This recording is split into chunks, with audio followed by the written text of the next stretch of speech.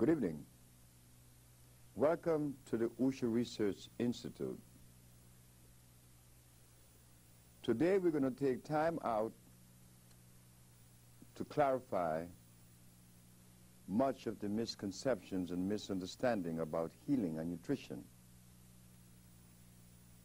The Usha Research Institute has selected Dr. Sebi, your brother and servant,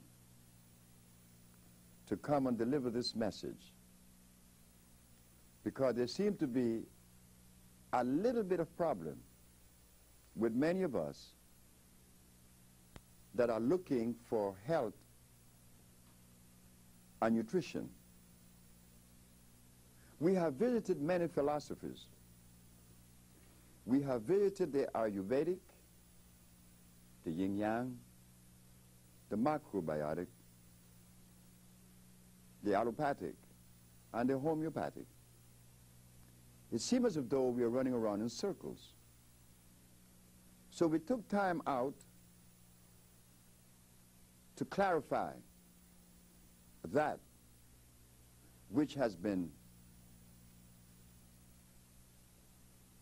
made difficult to understand or complex. Today, our talk, our lecture, and this particular segment is called The Reconnection. Reconnection to what? The reconnection to life. It has now been 400 years since society has been introducing a particular method of healing that have yet to complement us in a way that we would like for it to afford us. But as we all know, that everything begins and ends with God, the Creator. So one could easily see or understand that if God is the creator of the universe, then it behooves us to understand those things that are made by God. That seem to be some difficulty for many because when we believe that the milk of a cow, an animal, is sufficient to afford nutrition to a human body, then one has to question that because I am not an animal. That's common sense, I think. Animals produces milk for animal babies. Human beings, women, females, produces milk for human babies.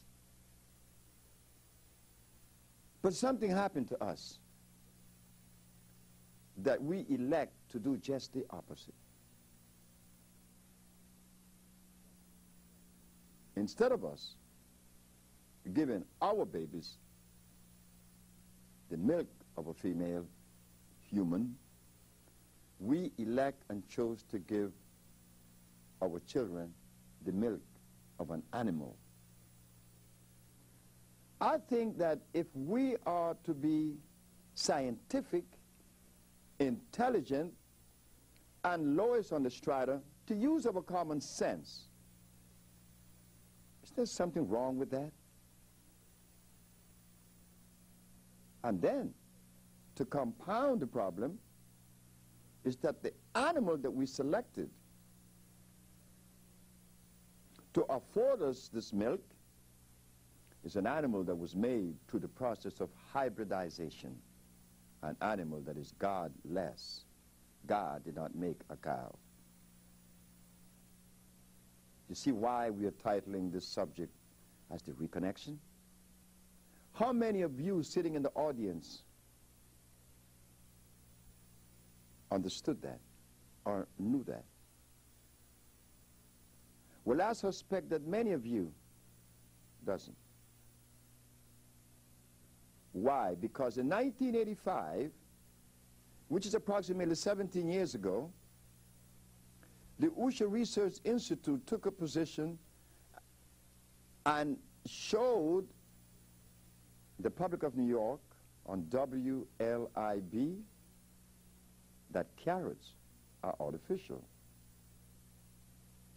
Because they are artificial, they are unable to deliver the nutrition that one is looking for because it is hybrid.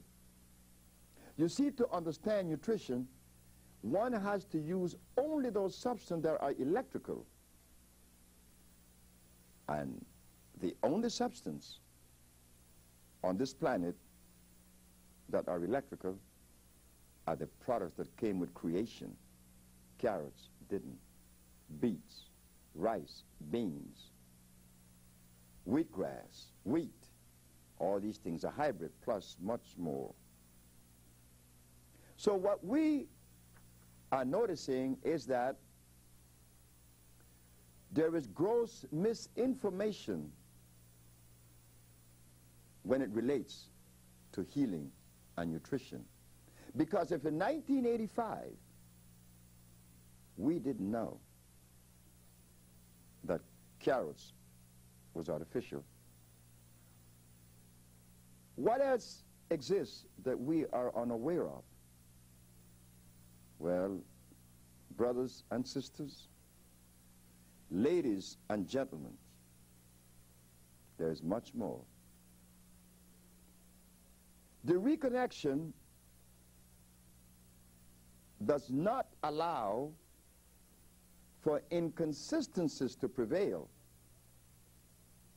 For instance, if one is cosmically connected, meaning connected to the dictates of God Almighty, the, creation, the Creator, one would never allow oneself to indulge in something other than those things that are of creation and Creator.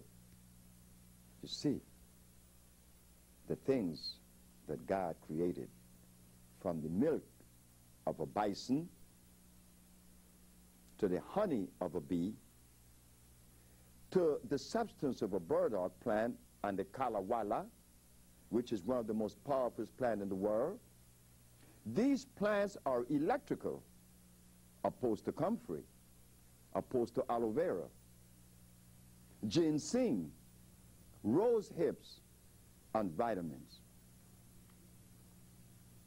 You see, the difference is one is electrical, one is non-electrical.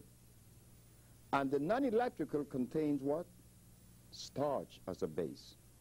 So you see, in the reconnection, we find that we begin to clarify much of the inconsistencies.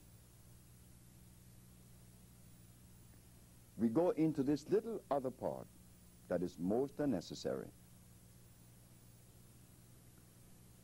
In the year of 1985, the Usha Research Institute placed an ad in the Village Voice, the Amsterdam News, and the New York Post that AIDS has been cured by the Usha Research Institute. And we specialize in cures for sickle cell, lupus, herpes, blindness, cancer, insanity, impotence, and others. When the Attorney General saw this ad, he could not, under any circumstances,